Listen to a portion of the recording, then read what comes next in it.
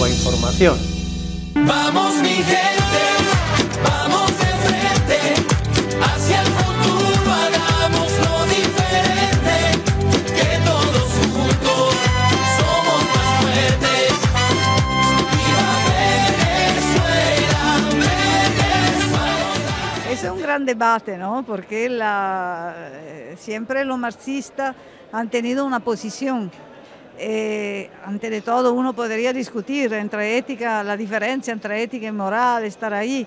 Pero lo- los marxistas siempre han dicho desde Marx e Engels, eh, la ideología alemana, que la moral sirve de escudo, sirve de máscara por el sistema dominante que, que- que lo- los comunistas no necesitan de moral, no porque somos morales.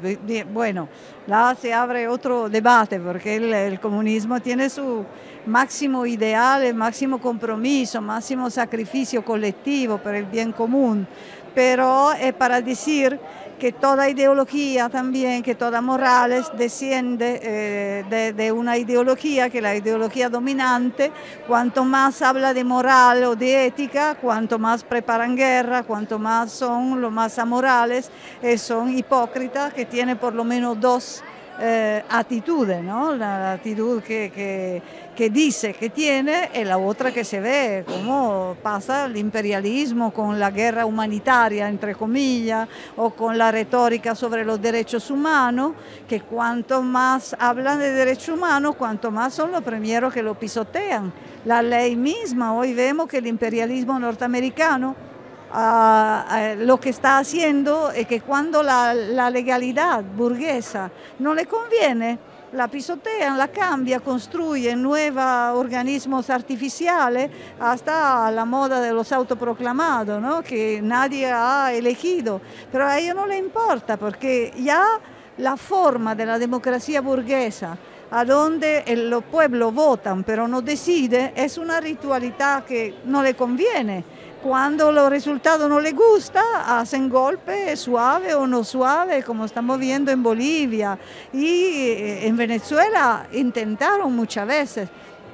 Yo me acuerdo porque siempre sigo estos procesos bolivarianos desde que me entregaron el pasaporte, entonces vi todas las fases. Cuando eh, se estaban esperando los resultados del 2015, las elecciones parlamentarias, ahí había los mismos presidentes de derecha que hicieron tanto daño en su país, que estaban aquí paseándose y como buitres esperando los resultados, porque ya tenía su, su guion.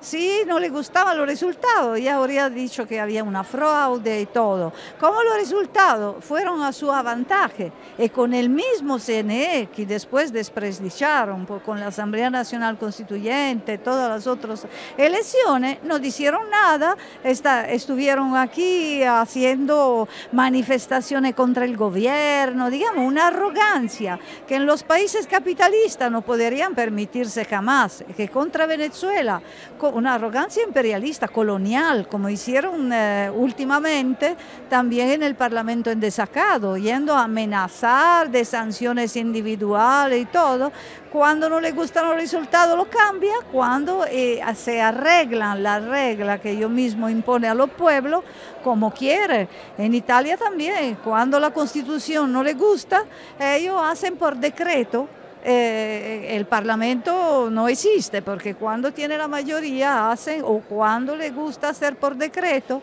cuando los pueblos ganan plebiscito para el, los bien comunes, el agua pública y todo, no, no le consideran porque no le importa la, la palabra de los pueblos. A diferencia de lo que está haciendo aquí, aquí se dice eh, con el lema del Congreso Internacional de la Comunicación, que también de la comunicación popular y protagónica, se dice hablan los pueblos. ¿Hablan cómo? Imponiendo nueva relación, correlación de fuerza con el poder popular, a donde no solamente se está eh, eh, combatiendo el latifundo de la tierra, sino también el latifundo mediático, que es una de las formas de la arrogancia imperialista en todo lado del mundo.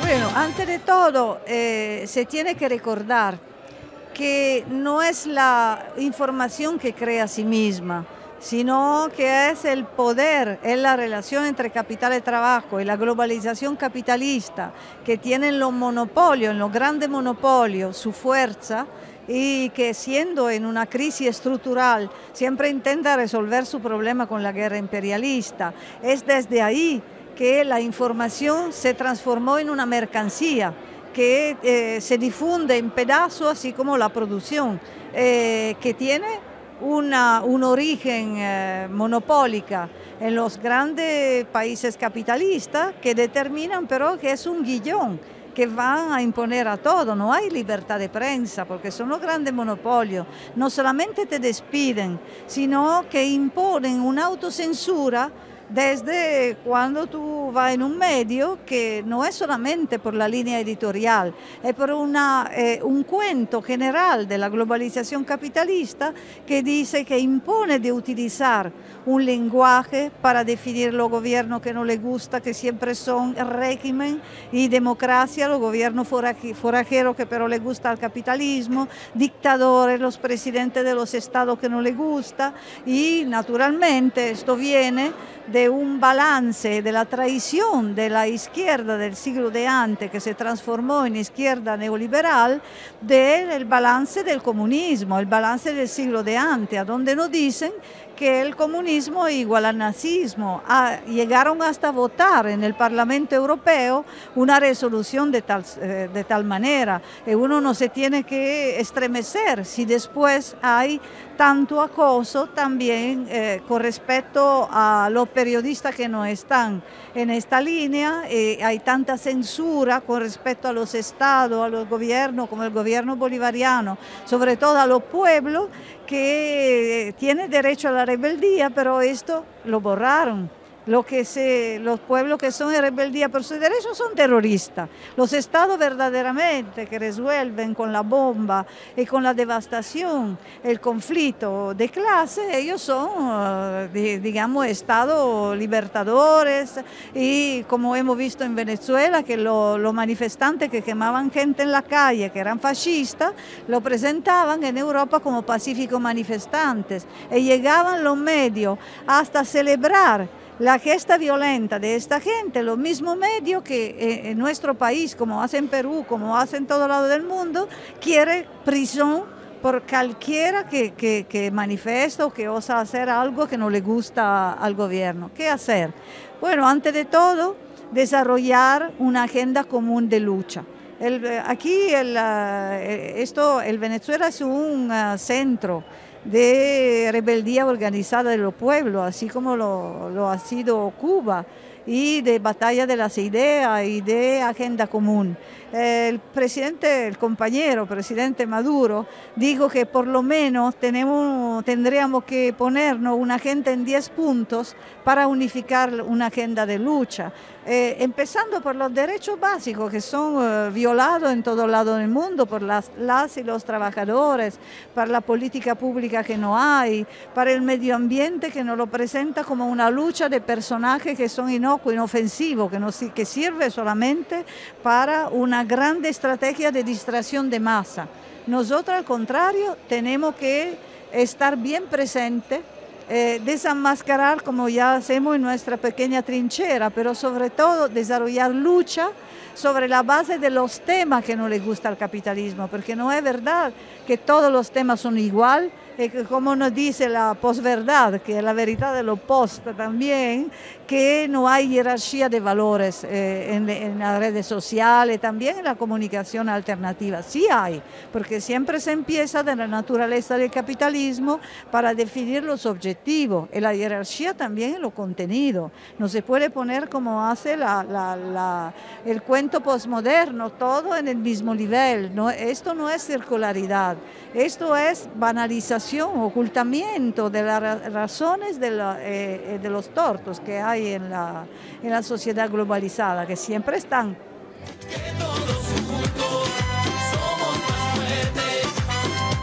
Sí, claro, siempre, eh, cuanto más el enemigo tiene miedo, cuanto más te considera. ¿no? Nosotros venimos de una lucha del siglo de antes, eh, eh, a donde no nos gustaba jamás hablar como individuo, ¿no? Porque contamos si la huella que dejamos en el mundo son colectivas, son de transformación radicales.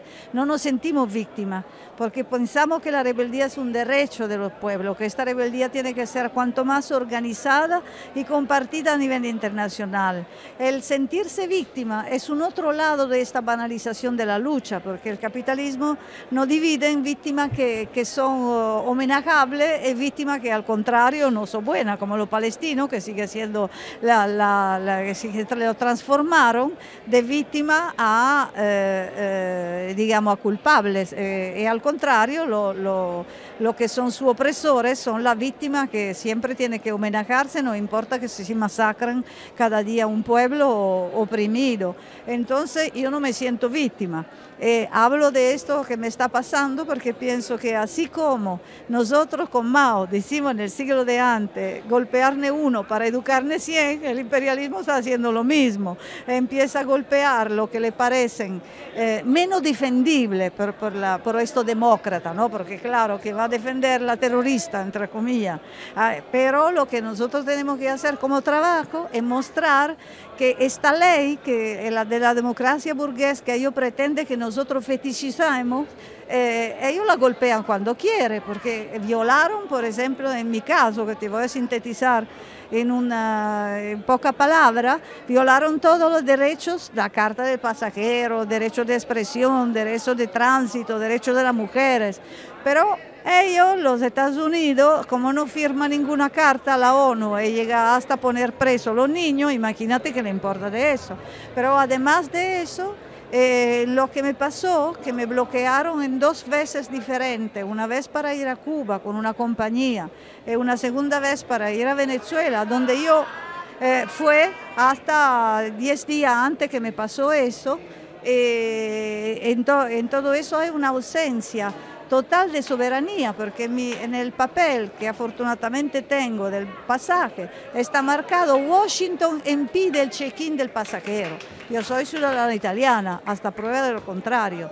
Y después de que, yo hizo una larga prisión por mi militancia en la guerrilla de Brigada Roja, eh, cumpliendo luego 25 años en la cárcel, me entregaron los derechos civiles, políticos, hasta he tenido que hacer de nuevo el examen de periodista. Entonces, he viajo sin problema desde que se terminó todo, como 10 años.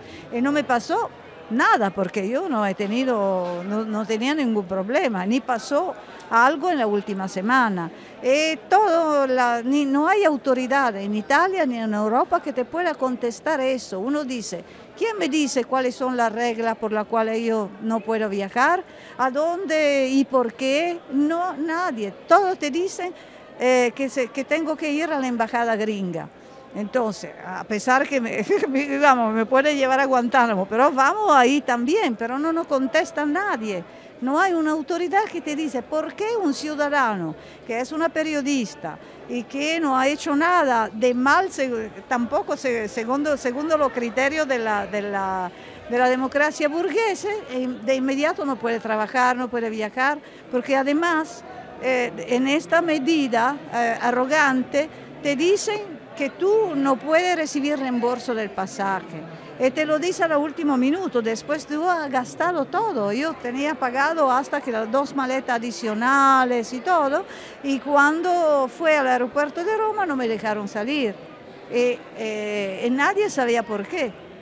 Solo está en la segunda vez el empleado vi que poniendo mi nombre eh, tenía marcado alerta roja que hizo hasta hacer un chisme, ¿no? Por roca lo puede entender, pero alerta por qué, si desde una semana a, ahorita no pasó nada de nada. Pero estamos en eso, se tiene que hacer por lo que pensamos nosotros, que hay compañeros del Frente de la Juventud Comunista, que es un partido que está en Italia, que me está ayudando como abogado, que tenemos que hacer una campaña a muchos niveles a nivel jurídico, pero también a nivel europeo, ¿no? porque a ver quién son. Nosotros presentamos una denuncia a la Fiscalía y a la Autoridad de la Privacidad, que tendría que eh, visionar los derechos del pasajero. No va a decir que no es su que pertenencia, que no es de, de, ellos, pero por lo menos vamos a llevar el caso también con las asociaciones de, en, la, en la Corte Penal Europea, yo no sé, hasta los Estados Unidos, porque tiene que decirnos eh, por qué no hay soberanía, no solamente en los países, de, tampoco en la Unión Europea, pero también tenemos que desarrollar una grande campaña contra la sociedad disciplinaria, que es un gran eh, negocio, porque todas las compañías de la, de la empresa de, privada de la seguridad, que son israelíes, que son norteamericanas, y todo eso determina la búsqueda en la universidad. Digamos que esta campaña por los derechos verdaderos de tránsito, de expresión, de información, es una campaña que tendría que eh, involucrar también lo que se dice eh, demócrata sincero, porque hoy, como lo que pasa a Venezuela, hoy le pasa a Venezuela, mañana le pasa a otro que no, que no le gusta el capitalismo. Esto es una batalla que tenemos que hacer a todos los niveles y sobre todo con los, los y las trabajadores de los puertos, de los aeropuertos, de los transportes que dejen pasar la, persona y no la mercancía del capital y no la mercancía de la guerra. Esto ya los trabajadores de los puertos empezaron a hacerlo cuando bloquearon las armas que se iban a Yemen y todo. Pero tenemos que hacerla mucho más que eh, decir para desenmascarar los mecanismos del capitalismo, pero también para imponer la libre circulación de los compañeros, de la, persona y no de la mercancía del capitalismo.